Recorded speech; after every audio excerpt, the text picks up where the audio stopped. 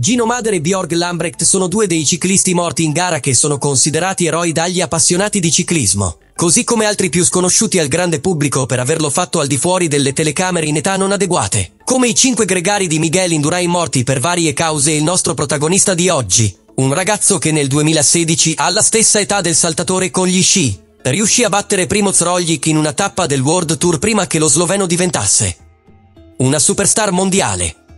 Otto anni dopo, mentre il vincitore del Giro e della Vuelta guadagna più di 4 milioni di euro all'anno grazie a due multinazionali dell'Europa centrale. Alexei Zatevic muore nell'anonimato senza una causa nota, come un giocattolo rotto del ciclismo e dell'UCI che ha dimenticato gli atleti del suo paese in una ridicola postura da carovita, come un giocattolo rotto delle pratiche di doping attuate nel suo paese e come un giocattolo rotto della stessa. Madrepatria russa, un cittadino che ha smesso di essere un professionista nello stesso momento in cui il suo paese è improvvisamente scomparso dal ciclismo di alto livello. Rendi omaggio a quest'uomo nei commenti mentre noi gli rendiamo questo umile tributo. Alexei Zatevic è arrivato al ciclismo professionistico come tanti altri russi del passato, come Evgeny Berzino o Dmitry Konishev, passando per il paradiso italiano per gli europei dell'Est.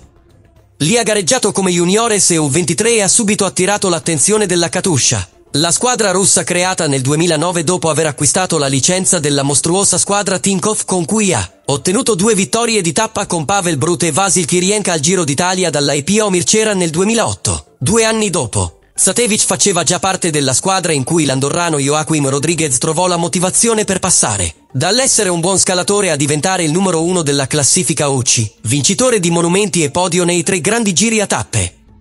Erano gli anni del ritorno del ciclismo russo ai massimi livelli dopo un decennio nell'ombra, grazie al sostegno finanziario dell'eccentrico Oleg Tinkov e, nel caso della Katusha, di un altro miliardario russo, Igor Makarov. Grazie al denaro, si è assicurato facilmente una licenza World Tour e Zatevic ha trovato rapidamente i risultati necessari per avere successo nel ciclismo.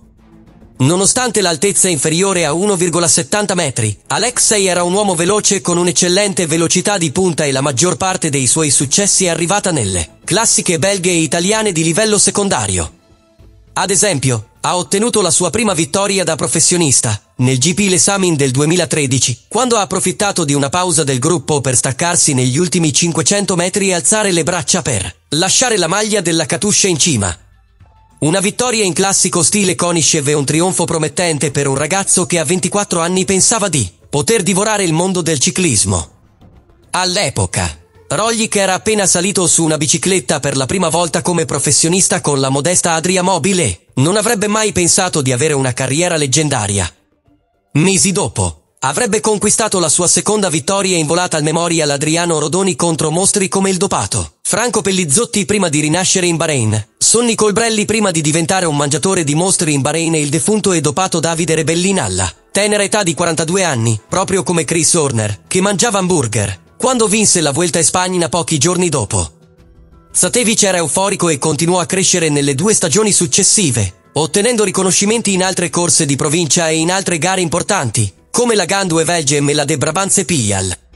Quelli furono gli anni del boom, con la comparsa dal nulla di Ilnur Zakharin, il popolare e magrissimo russo che ispirò la creazione del premio Zakharin del sito web Ciclismo 2005 e che, dopo essere cresciuto con Zatevic nella Katusha, aveva vinto niente meno che il Tour de Romandie sul keniano bianco Tue per la Bilarzia. Vincenzo Nibali subito dopo aver vinto il Tour de France, o Naurito Quintana in una storica doppietta Katusha con lo specialista svizzero delle corse Simon Spilak. Satevic era passato in secondo piano con l'emergere di questo essere russo di luce, ma l'anno successivo anche lui ha potuto assaporare la dolcezza del successo. Un successo di breve durata, ma pur sempre un successo.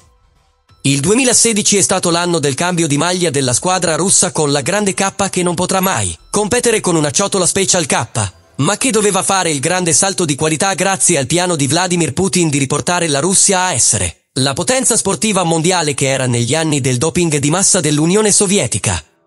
Purtroppo per i russi, e in seguito alle indagini tedesche e a una commissione indipendente della WADA che ha scoperto la corruzione del presidente Lamine Diak, si è stretto l'assedio contro la Rusada, l'agenzia antidoping russa che nascondeva i risultati positivi al doping, che hanno iniziato a comparire in massa in varie discipline sportive.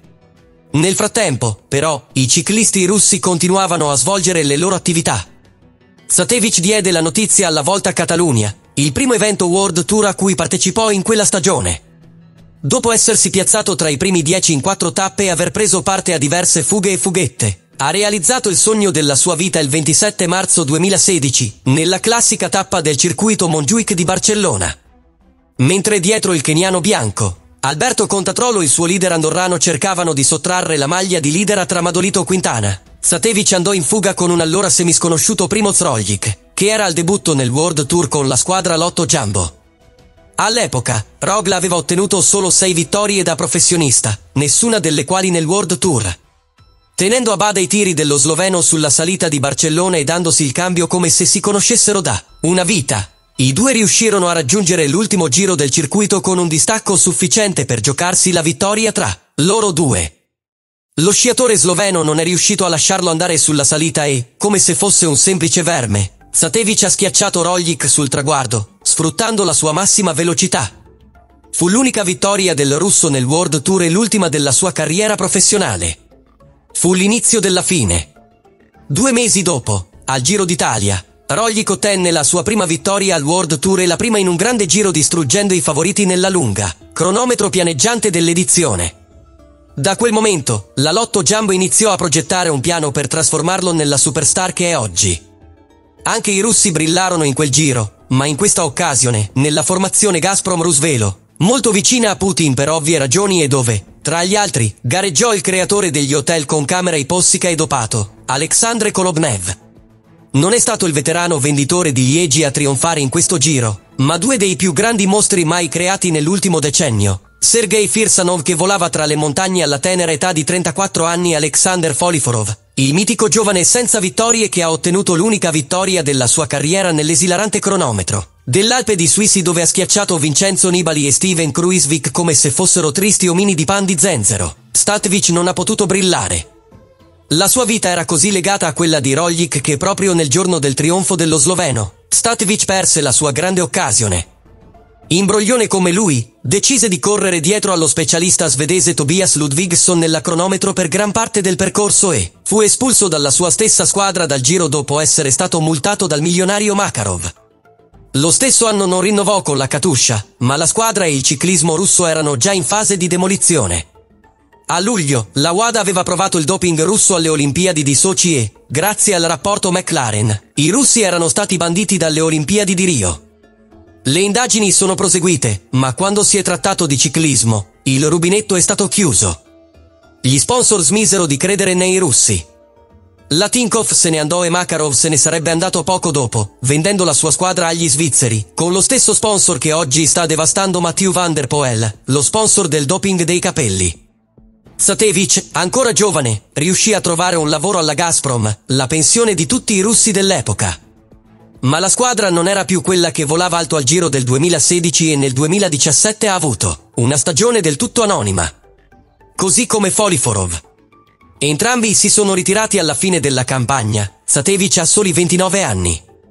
Mentre il giovane Alexander Vlasov iniziava a mettere la testa fuori da quella squadra sospetta, i russi che avevano visto le loro speranze infrangersi rimasero sbalorditi nel vedere come l'attuale corridore della Bora e compagno di squadra di Roglic rinunciò alla sua nazionalità per poter gareggiare nell'UCI di Lappartient che ti bandisce se sei nato in Russia, perché sei direttamente identificato come un corridore dopato. Satevic ha cercato la gioia nell'hockey su ghiaccio, ma non l'ha trovata. Ora è morto all'età di 34 anni, mentre Roglic cerca di vincere il Tour de France con Vlasov, l'ex russo, come suo luogotenente. La linea sottile tra successo e fallimento.